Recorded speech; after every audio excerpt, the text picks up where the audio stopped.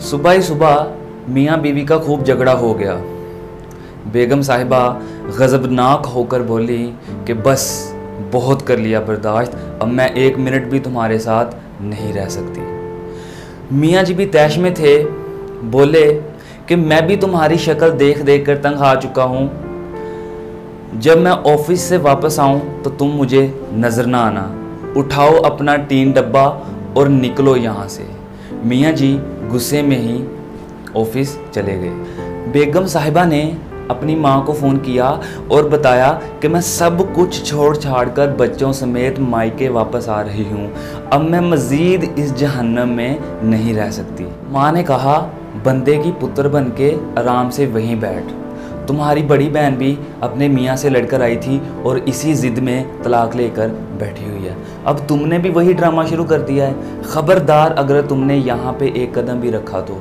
सुलह कर ले, अब वो इतना भी बुरा नहीं है। माँ ने लाल झंडी दिखाई तो बेगम साहिबा फूट फूट कर रोने लगी। जब रोकर थकी तो दिल हल्का हो चुका था।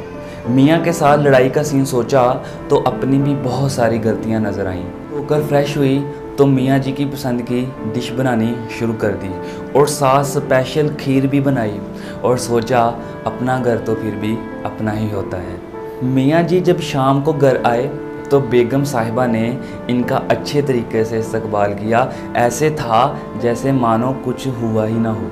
मियाँ जी को भी खुशगवार हैरत हुई खाना खाने के बाद जब मियाँ जी खीर खा रहे थे तो बोले, बेगम मैं भी कभी कभार ज़्यादती कर जाता हूँ। तुम दिल पर मत लिया करो।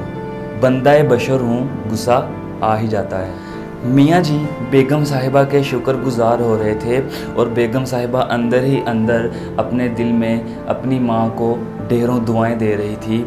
वरना तो जिस बाती फ़ैसले ने घर तबाह कर दिया था। तो इस स्टोरी के ज़रिए मैं आपको सिर्फ़ यही समझाना चाहता हूँ कि अगर वालदेन अपनी शादीशुदा औलाद के हर जायज़ और नाजायज़ बात को सपोर्ट करना बंद कर दें तो रिश्ते बच जाते हैं। जब भी आपकी कभी लड़ाई हो, झगड़ा हो तो आपने सिर्फ़ एक काम करना है, वो काम ये है कि आपको जब भी गुस्सा आए, आपने उस शख्स के बारे में जितनी भी अच्छी बातें हैं या जो भी उसने अच्छा आपके साथ किया है, आप उसे याद करना शुरू कर दें।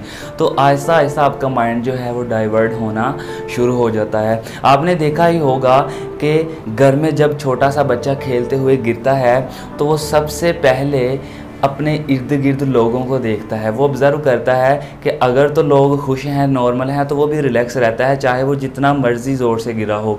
अगर इर्द गिर्द के लोग शोर करते हैं, कहते हैं, देखो क्या हो गया तो वो डर जाता है और क्या करता है जी? रोने लग जाता है। तो ये एक्चुअली है क्या? ये गुस्सा नहीं है। ये फीलिंग्स ही है। फीलिंग्स अंदर की फीलिंग्स है, बाहर की फीलिंग्स नहीं है। बाहर जो कुछ मर्ज़ी हो जितने मर्ज़ी आपको लोग बुरा भला कहें, जब तक आपका अंदर चेंज नहीं हो रहा, आपको गुस्सा आ ही नहीं सकता। तो अगर आपको ये स्टोरी पसंद आई है तो इस स्टोरी को ज़्यादा से ज़्यादा शेयर करिएगा कमेंट्स करिएगा एंड लाइक करिएगा।